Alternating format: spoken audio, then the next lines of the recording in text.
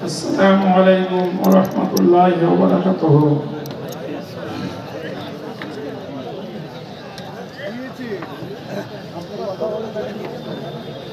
الحمد لله نحمده ونستعينه ونستغفره ونعوذ بالله من شرور أنفسنا ومن سيئات أعمالنا. من يهده الله فلا مضل له ومن يضلله فلا هادي له. وأشهد أن لا إله إلا الله وحده لا شريك له. وأشهد أن محمدا عبده ورسوله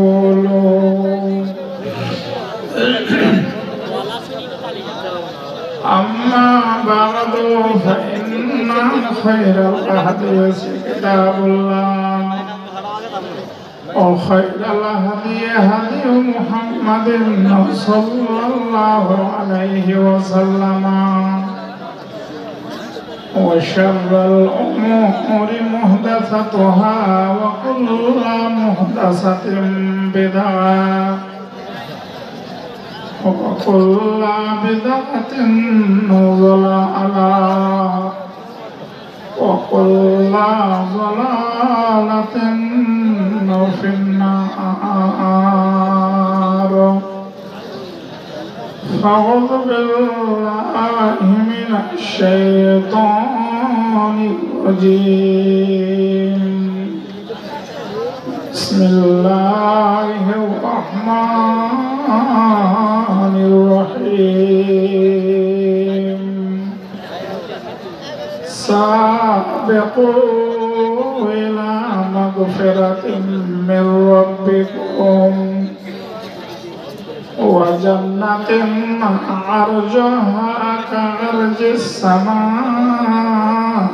والأرض أعدت للذين آمنوا بالله ورسله. ذلك فضل الله يؤتيه من يشاء. والله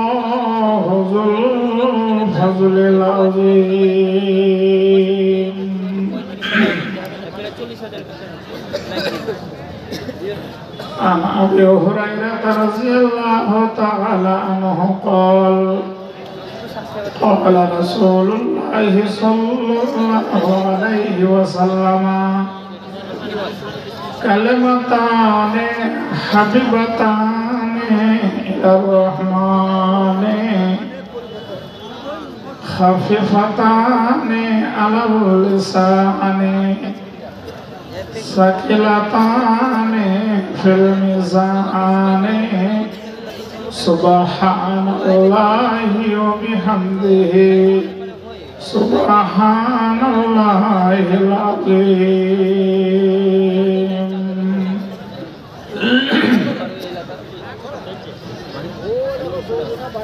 প্রাঞ্চঞ্চল নৌজনেদের মোবারকবাদ ওঠো জাগো, চলো সামনে আগাই। আর সে সময় নেই। অশ্রু সজল খেতে তোমারে ফোটাতে হইবে হাসে। দৌড় বলে দিতে হইতে ভয় মরণের ভয় নাসে। আধারে আলোক জ্বালাইতে হবে, ফোটাইতে হবে ফুল। নাহিলে ধরাই জনম বৃথায়, জীবন ব্যর্থ ভুল। জীবনের জয় গাহিয়াছ মুখে আগাইয়া চল সবে। শুধু তার পর কর নির্ভর, নিশ্চয় জয় হবে। নারে পরম শ্রদ্ধেয় সম্মানীয় যোগ্যতম সভাপতি মহাশয় ওলামাই কাম সমবেত শ্রোতা মণ্ডলী পর্দার অন্তরালের মা ও ভক্তেরা। যাবতীয় প্রশংসা, গুণগান, গুণকীর্তন সেই মহান করুণাময় আল্লাহ পাক আলমিনের জন্য, যিনি সারা বিশ্বের মালিক যিনি অগণিত মখলুকাতের মধ্যে এই মানব জাতিকে সর্বশ্রেষ্ঠ বিবেক বুদ্ধি, জ্ঞান গরিমা দিয়ে স্বতন্ত্র জীবন দান করিয়াছেন, সেই বিশ্ব নিয়ন্তা মহান প্রভু আল্লাহ পাক রব্বুল আলমিনের প্রশংসা। তারপরে পরে আমাদের বিশ্বনবী মরুদুলাল মা মিনাল্লাল আকাই নামদার তাজদারে মাদানি আহমদে মুজদাবা মুহাম্মদ মুস্তফা। সবাই একবার সমবেত কণ্ঠে বলি, সাল্লাল্লাহ আলাইহি সাল্লাম এর ওপরে অসংখ্য দরুদ, সালাম বিবর্ষিত হোক, বলুন আল্লাহ আমিন। আল্লাহুম্মা সাল্লি আলাই, আল্লাহুম্মা বারিক আলাই। আমি আপনাদের সম্মুখে মহাগ্রন্থ কালামুল্লার সূরা আল হাদিদের একুশ নম্বর আয়াত পরিবেশন করেছি। তার সঙ্গে সহিহুল বুখারী দ্বিতীয় খণ্ডের সর্বশেষ একটি হাদিসও পরিবেশন করেছি। এই আয়াতের অর্থ এবং খুব হালকা করে ব্যাখ্যা বিশ্লেষণ করার পরে আমি এই আয়াতটিকেও আপনাদের সামনে তুলে ধরব এবং হাদিসটিকে আর তারপরে মাদ্রাসার ব্যাপার আছে, আমি আপনাদের কাছে শেষের বেলায় মাদ্রাসার জন্য কিছু আবেদন করব। ইতিমধ্যে অনেক শ্রোতা বিভিন্ন কারণ থাকতে পারে, অত কারণ আমাদের দেখা যায় না। ডায়াবেটিসের রোগীও থাকতে পারে, ঘন ঘন পেচ্ছাপ লাগতে পারে। এক জায়গায় দীর্ঘক্ষণ বসে থেকে হাঁটু, মাজা বেদনাও করতে পারে, ইত্যাদি অনেক সমস্যা থাকে। তো যারা উঠে চলে গিয়েছেন, তাদের জায়গাগুলো ফাঁকা হয়ে গেল। এখন যারা যেখানেই বসে আছেন জায়গাগুলোতে দীর্ঘক্ষণ বসে থাকায় একটু মায়া মহব্বত অবশ্য বেড়ে যায়। কিন্তু সামনের ফাঁকা জায়গা রেখে আর পেছনে না বসে একটু কষ্ট করা যাবে না ভাই। একটু আপনারা নড়ে চড়ে সামনের দিকে একটু এগিয়ে এসে যদি ফাঁকা জায়গাগুলো পূর্ণ করে বসেন, তো আমি আপনাদের সম্মুখে কোরআনের এই আয়াত এবং কিছু হাদিসের তথ্য আপনাদের সামনে আলোচনা করব যাতে শোনার পরে এর প্রতি আমলে পরিণত করলে ইনশাআল্লাহ লাভবান হওয়া যাবে। ইহজগৎ এবং পরজগৎ কল্যাণ হবে ইনশাআল্লাহ। ফলে একটু উঠে উঠে আপনারা সামনের জায়গাটা পূর্ণ করে বসে যান। একবারেই বয়স্ক যারা আছেন, উঠতে অসুবিধা, তারা থাকলেও যারা যুবক ভাইরা আছেন খাড়া হতে কোনো অসুবিধা নাই। আপনারা একটু উঠে উঠে এই সামনেটা জমিয়ে বসে যান, যাতে ফাঁকা না থাকে। এই যে জায়গাগুলো অনেক ফাঁকা হয়ে গিয়েছে, একটু আপনারা যারা দাঁড়িয়ে আছেন বসবেন না, আপনারা একটু এসে বসে যান। দেখুন, আমার শরীর অসুস্থ, আমি ঠান্ডায় আক্রান্ত, গলা ফেঁসে আছে, বুঝতেই পারছেন। যারা খুব সুললিত কণ্ঠ ভালোবাসেন, তারাই হয়তো চলে গিয়েছেন, হতেও পারে। তো এই অবস্থাতেও আমি ডিঙ্গেল মাদ্রাসায় এসেছি তার একটা কারণ, যে এই জলসাটা ছ তারিখে ওনারা করেছিলেন বা আমাকে বলেছিলেন। ছ তারিখ ফাঁকা না থাকায় ওনারা আমার জন্য একদিন আগিয়ে নিয়ে এসেছেন, পাঁচ তারিখ করেছেন। তো এই জন্যই আমি এসেছি চরম রিক্সের ওপর যে আমি বলতে পারি আর না পারি, আমি সেখানে যাব, দেখা করব, পরিস্থিতির অনুকূলে কাজ হবে।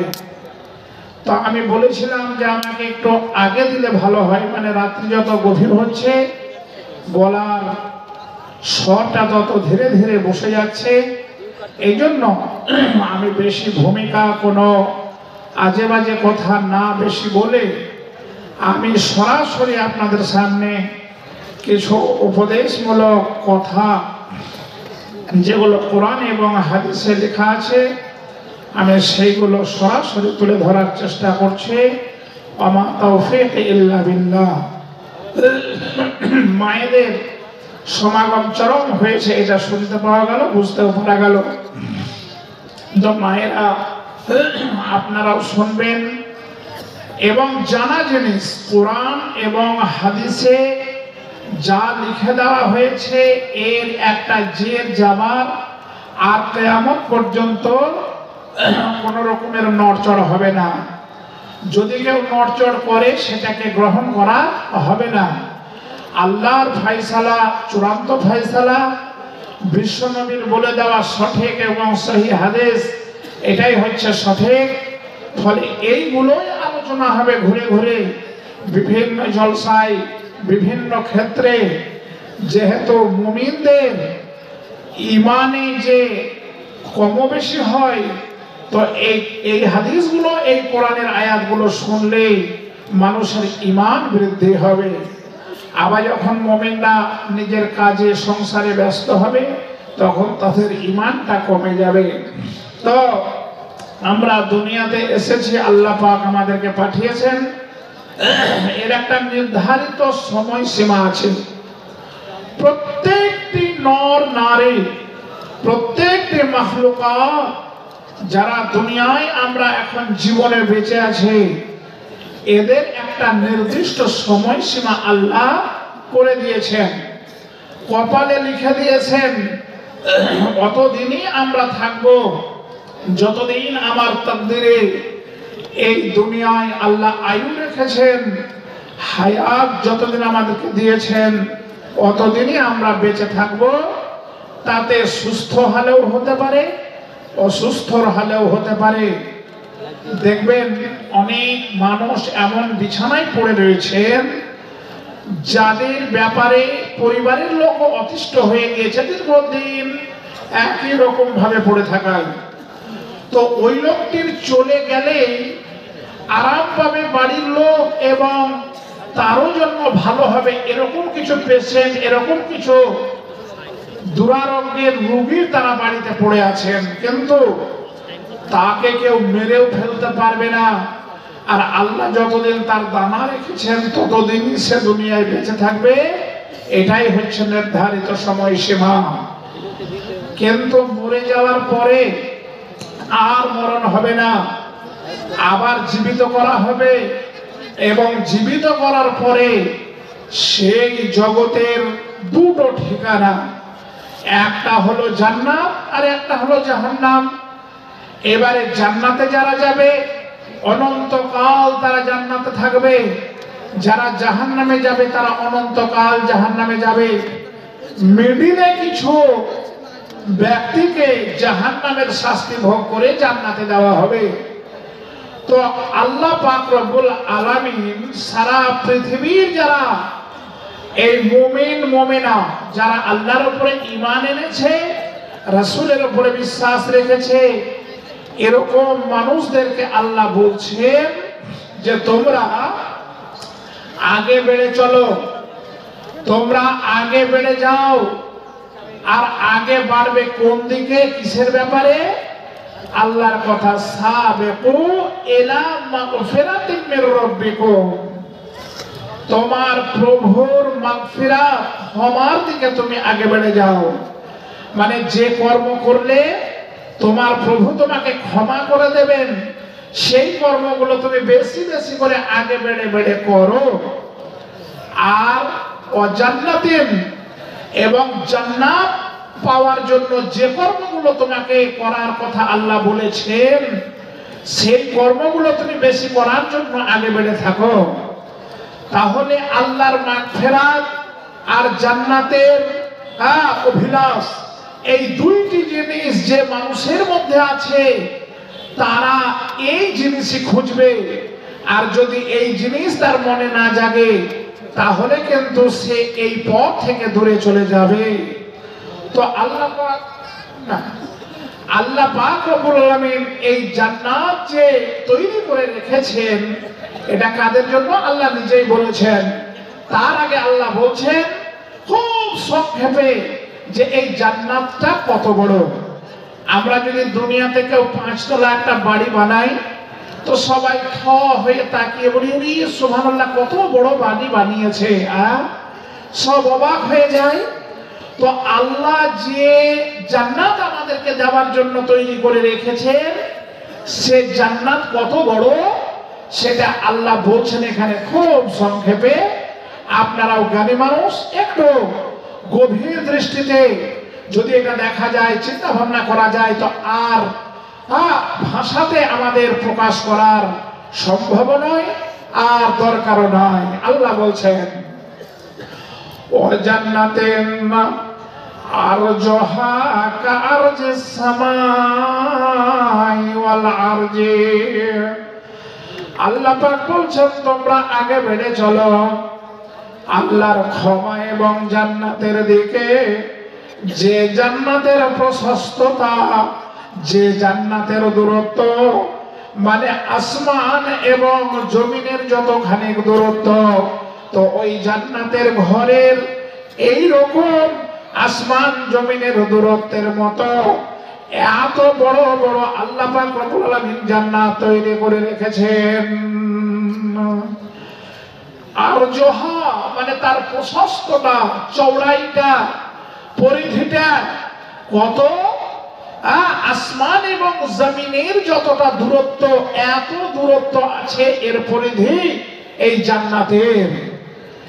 এই জান্নাত কাকে দেওয়া হবে আল্লাহ কার জন্য তৈরি করেছেন আল্লাহ এবারে বলছেন أعدت للذين آمنوا بالله ورسله এই জান্নাত আল্লাহ তৈরি করে রেখেছেন তাদের জন্য যারা আল্লাহর উপরে ইমান এনেছে এবং রসুল এটা বহু বচন সমস্ত রসুলগণের উপরে ইমান এনেছে।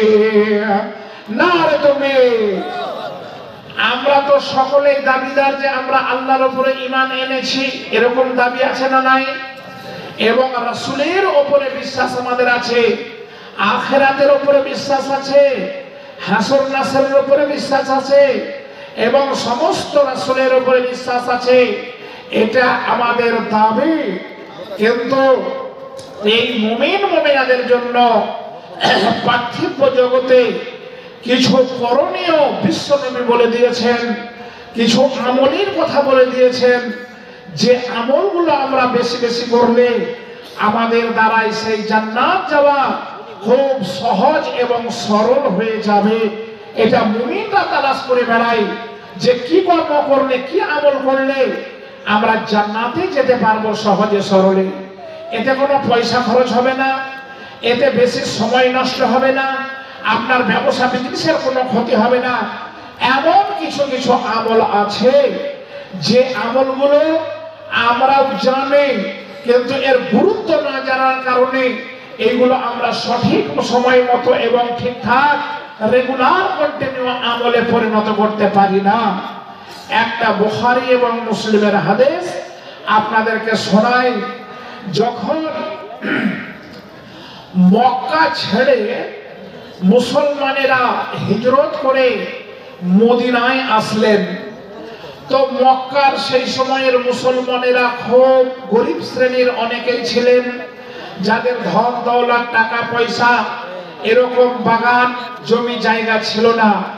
কেবল তারা পরিশ্রম করে খাবারটা জোগাড় করতেন। তো এরা ইসলামের টানে নিজের জন্মভূমি মক্কাকে পরিত্যাগ করলেন, ছেড়ে দিলেন এবং মদিনায় তারা চলে আসলেন। এই জন্য এদেরকে বলা হয় মুহাজেরিন। আর মহাজেরিনদের মধ্যে কিছু গরিব শ্রেণির মহাজেরিন ছিল। আরবিতে এদেরকে বলা হয় ফুকারা এ মহাজেরিন। তো এরা যখন মদিনায় আসলেন, তো মদিনার কিছু ধনী ব্যক্তি ছিলেন যারা আনসর মানে এরা সাহায্য করেছিল এই মুহাজিরিনদের, সেই জন্য তাদেরকে আনসর বলা হয়। তো এইবারে এরা এসে থাকতে লাগলেন। থাকার সঙ্গে সঙ্গে তাদের যেটা সব চাইতে আসল কাজ ছিল যথা নিয়মে, যথা সময়ে তাদের ফরজ কর্মগুলো পালন করা, তার মধ্যে অন্যতম হলো নামাজ। এইবারে কিছুদিন থাকার পরে এরা লক্ষ্য করছে যে এই ধনী মানুষ যারা মদিনার, তারা তো নেকির ব্যাপারে কিছু কিছু এমন কর্ম তারা করতে পারছে, যারা গরিবদের চাইতে নেকিতে এগিয়ে যাচ্ছে। আর এরা মনে মনে ভাবছে যে আল্লাহ, আমরা গরিব হওয়ার কারণে আমরা তাদের সমপরিমাণ নেকি অর্জন করতে পারছি না।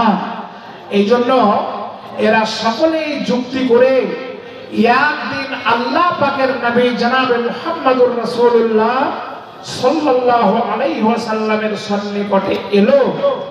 আসার পরে তারা সকলেই মিলে বলছে কথা এটা পরে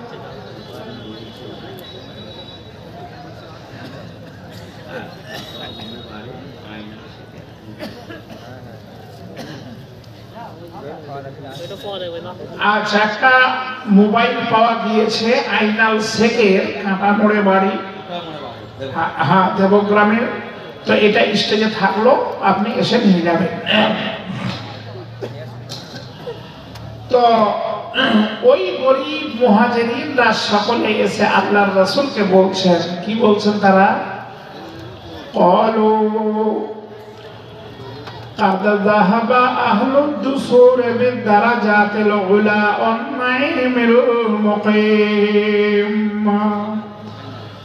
বলে হুজুর এই মদিনায় এসে আমরা দেখলাম যারা ধনী শ্রেণীর মানুষ তারা কিন্তু আগে আগে জান্নাতে চলে যাবে এবং জান্নাতের যে বড় বড় পজিশন গুলো আছে মর্তবা গুলো আছে সেইগুলো তারা উপভোগ করবে জান্নাতের নিয়ামত তারা আগে আগে উপভোগ করবে। আমরা গরিব মানুষ সেই জন্য তাদের সঙ্গে আমাদের হয়তো জান্নাতে যাওয়া হবে না। ধনী দেখে দেখে, তাদের কিছু কর্ম দেখে গরিবরা আল্লাহ রসুলকে বলছেন, হুজুর, আমরা গরিব হয়েছি বলে আমরা কি তাদের সাথে জান্নাতে যেতে পারব না? ওরা এমন কিছু কর্ম করছে যা আমাদের নাই, আমরা পারব না। বলে, ব্যাপারটা কি একটু ভালো করে খুলে বলো তো? কলা বিশ্বনবী বললেন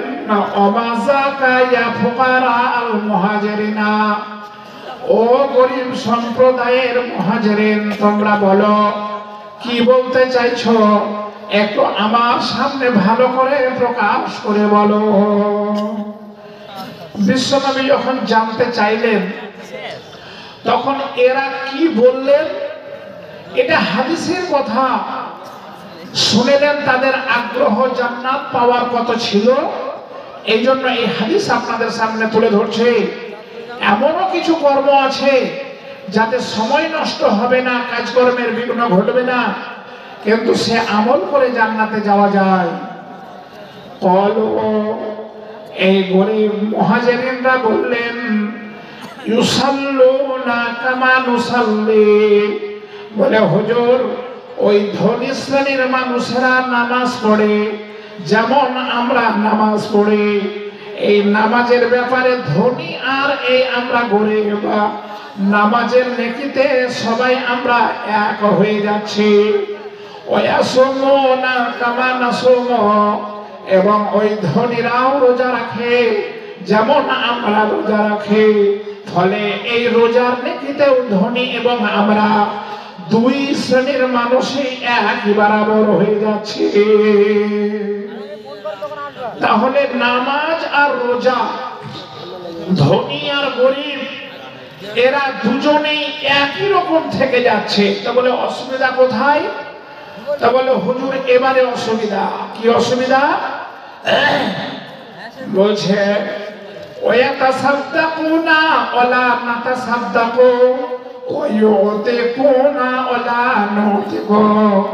বলে তাদের ধন আছে, মাল আছে, টাকা আছে, পয়সা আছে। সেই জন্য তারা দান করতে পারে করতে পারে করতে পারে, মাদ্রাসা বানিয়ে দিতে পারে, মসজিদ বানিয়ে দিতে পারে। কিন্তু আমরা গরিব বলে আমরা দান সাদকা খাইরাত করতে পারি না। এবং তারা অর্থের বিনিময়ে গোলাম আজাদ করে দিতে পারে, দাস দাসীকে মুক্ত করে দিতে পারে। আর আমরা গরিব বলে দাস দাসীকে মুক্ত করতে পারি না। অথচ আপনি বলেছেন, এই গোলাম আজাদ যদি কেউ করে দেয়, তাহলে তার জন্য অগণিত বরাদ্দ রয়েছে। এইবারে আমরা দেখলাম যে নামাজ আর রোজার নেকিতে যদি ধনীর ধন একই থেকে গেলাম, কিন্তু দান এবং ওই গোলাম আজাদে আমরা তাদের চাইতে অনেক পিছনে পড়ে গেলাম। তাহলে ওরা তো আগে আগে জান্নাতে চলে যাবে, আর আমরা তাদের সঙ্গে জান্নাতে যেতে পারব না। তো এই কথা বিশ্বনবী শুনে তিনি মনে মনে হাসছেন আর বলছেন, কি বলছেন? কলা আফালা উআল্লিমুকুম শাইয়ান তুদরিকুনা বিহি মান সাবাকাকুম ওয়া তাসবিকুনা বিহি মান বাগাদাকুম ওগো, তোমরা গরিব হয়েছো তো কি হয়েছে? তোমাদেরকে কি আমি এমন কিছু কর্মের কথা বলে দেব না? এমন কিছু আমলের কথা বলে দেব না? যে আমলগুলো তোমরা যদি যথা যথানীতি করতে পারো, তাহলে তোমরা এত মর্যাদার অধিকারী হবে যে তোমাদের আগে যারা মরে গিয়েছেন, তারাও অত মর্যাদার অধিকারী হতে পারে নাই। এবং তোমাদের পরে যারা আসবে তারাও কিন্তু এত মর্যাদার অধিকারী হতে পারবে না। যতক্ষণ না তোমরা যেটা আমল করবে, যা আমি বলে দেব, ওরা যতক্ষণ না সেই আমলটা করবে। কিন্তু এটা ভালো করে জেনে রাখো, তোমাদেরকে যেটা আজকে আমি বলে দেব, সেটা যেই আমল করুক না কেন, এতে চরম মর্যাদার অধিকারী হয়ে যাবে। না তোকে গরিব মানুষেরা এতটুকু শোনার পরে তারা মনে মনে আনন্দের নাচতে আরম্ভ করলেন যে যা আমাদের একটা পথ বের হয়েছে। আমরা এমন কিছু আমল যা বিশ্বনবী বলে দেবেন, আমাদের জান প্রাণ চলে গেলেও আমরা সেই আমলটুকু করতে ছাড়বো না, যাতে আমরা জান্নাতে ধনীদের সাথে যেতে পারি। তারা বলছেন, কলু বালা ইয়া রাসূলুল্লাহ বলে, হুজুর, তাড়াতাড়ি বলুন, সে আমলগুলো কি আমরা এখন থেকেই করতে শুরু করে দেব? সেই আমলগুলো কি বিশ্বনবী বলেছিলেন? খুব সহজ, সরল, যা আমাদের জানা আছে। যেমন মলসাইদি বলেছেন, সেই ইশারা ইঙ্গিত আছে যে এই আমলগুলো করলে আমরা কত মর্যাদার অধিকারী হব, নেকির অধিকারী হব। বিশ্বনবী বলছেন, তুসাব্বিহুনা অতুকাব্বেরোনা অতাহমাদোনা ফে করলে দুপুরে সলাতেন সালাসা ওয়া সালাসিন আমার রাতান্না ওগো, তোমরা তো নামাজ পড়ো।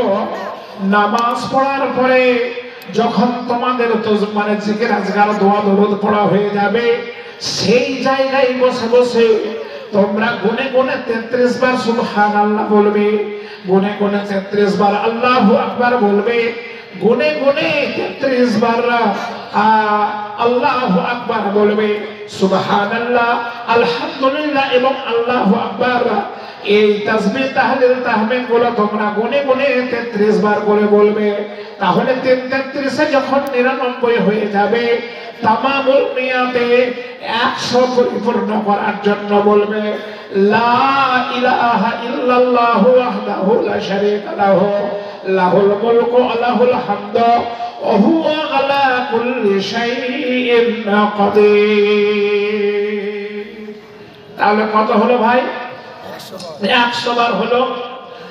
এই একশো বার যদি প্রত্যেক নামাজে এইগুলো পাঠ করা যায়, এই আমলটা কন্টিনিউ করা যায়, তাহলে এতে কত আমাদের ফায়দা আছে, উপকার আছে? শুধু সেই মদিনার বাসে যারা গরিব মানুষ ছিলেন, তাদের জন্যই খাস নয়। এটা কেমন পর্যন্ত সমস্ত মোমেন মোমেনাদের জন্য প্রযোজ্য। যে একশো বার করে নামাজ আনতে বসে বসে এইগুলো পাঠ করবে, তো তাদের কি হবে উপকার? বিশ্বনবী বলছেন না হত্যা খাতায়া হো ওয়াইন কানাত মিসলা জাবাদিল বাহরে। তোমাদের যদি সমুদ্রের ফেনা সমপরিমাণ পাথর আছে হয়ে থাকে, তাহলে সেটাও আল্লাহ পাক রব্বুল আলামিন তোমাদের ক্ষমা করে দেবেন না। এত পাপ রাশি হয়ে থাকলেও এইগুলো পড়লে আল্লাহ সেগুলোকে ধুয়ে দেবেন, মুছে দেবেন, মিটিয়ে দেবেন। তাহলে নামাজিরা প্রত্যেক ওয়াক্তের পরে একশো বার করে এইগুলো পাঠ করলে তাদের আর কি গুণা থাকতে পারে? তারা তো পরিষ্কার। তারা তো নির্মল হয়ে গেল। তারা তো মাসুম হয়ে গেল। এরকম কিছু আমল যা আমাদের জানা পরেও আমরা অনেক মুসল্লি মসজিদ থেকে কখন তাড়াতাড়ি কাজে যাব, বাড়িতে যাব ট্রেন ধরবো বাস ধরবো বলে, এইগুলোই আমরা আমল করার সময় করতে পারি না। এগুলো হচ্ছে আমাদের আমলের ত্রুটি। জানার কোনো ত্রুটি নাই, কিন্তু আমলের ত্রুটি আছে বন্ধুরা আমার ভাইরা আমার। তো এরকম আরও দু একটি হাদিস আপনাদের সামনে আমার বলার এরাদা ইচ্ছা ছিল বা রয়েছে এখনও, কিন্তু আমার হজরাতুল আল্লাহ অত্র জামিয়ার সাইফুল হাদিস, ওনাকে আমি খুব ভালো করে আগে থেকে চিনি, আমার আব্বার বন্ধু। সেই সূত্রে উনি আমাকে আদায়ের দিকে একটু আসতে বলছেন। উপায় কিছু নাই যারা হ্যান্ডেলিং করছেন সভা তাদের নির্দেশ মতো আমাদেরকে কাজ করতে হবে। আমি তো ভাবছিলাম দীর্ঘক্ষণ ধরে আদায় হলো সেই জন্য আদায় মনে হয় শেষ হয়েছে কিন্তু হয়নি যা বুঝতে পারা যাচ্ছে। তো যা আপনারা যারা দিয়েছেন খুব ভালো করেছেন। একাধিক বারও দেওয়া যায় একাধিক বক্তার হাতেও দেওয়া যায়। আপনারা আসুন এবং দিতে থাকুন।